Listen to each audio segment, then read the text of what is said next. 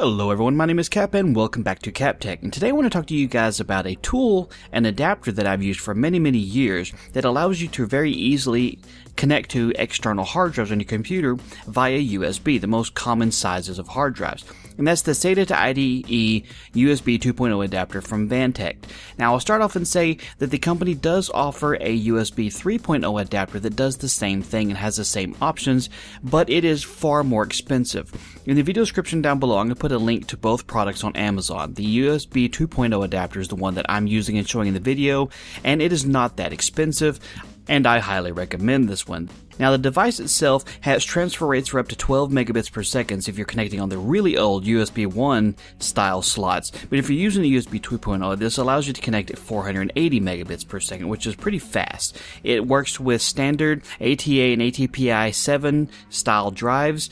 It's hot swappable, so you don't have to reboot while you're trying to get the hard drive to actually connect. Now inside the box, it actually comes with a whole lot of stuff here. You get the SATA to IDE USB adapter, the main actual interface here, and it has three different style plugs that allows you to connect to different style hard drives. You've got the SATA hard drive connector here, you've got the 3.5 and the 5.25 IDE connector, or you got the smaller version, the 2.5 inch IDE on the other side, so if you're connecting like an old laptop hard drive, you can still access it that way.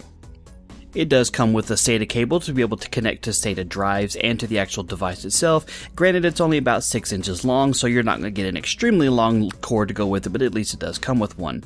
And it comes with a converter power cable to be able to convert the 4-pin Molex style plug-ins for the older hard drives to a SATA style power plug-in too. So you can use that if you are using an older style hard drive that doesn't have a SATA power connector.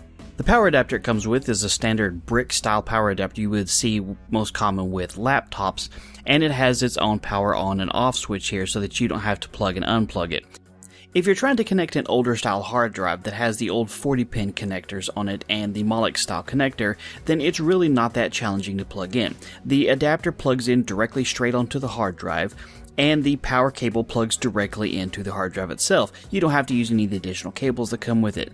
Power it on, plug the USB cable into your computer, and you're good to go. However, if you're trying to access a SATA based hard drive, then you have to use the little red adapter cable to plug into the power slot on the back of the hard drive, into the top of the adapter itself, and then you have to use the Molex to SATA power cable adapter to be able to plug in the power brick into the hard drive itself. So you have a few more cables and things going on here, but after you get them all connected, it works the same way. You plug the USB drive into your computer and turn it on and it will recognize it. So as I've said before, this is an adapter that I have used many, many times in my career. If you are a computer person and you frequently use external hard drives, or if you work on other people's computers, or if you're just trying to get some data off of an old broken hard drive, or maybe even just trying to use an old hard drive for external storage, this adapter really is a really nice way to be able to access that quickly and easily without having to have a docking station. So, if you have any questions, do drop in the comment section down below and I'll happily answer it as quickly and as efficiently as I possibly can. And if you found the video useful, do me a favor and hit the thumbs up button down below. And don't forget to subscribe for future videos.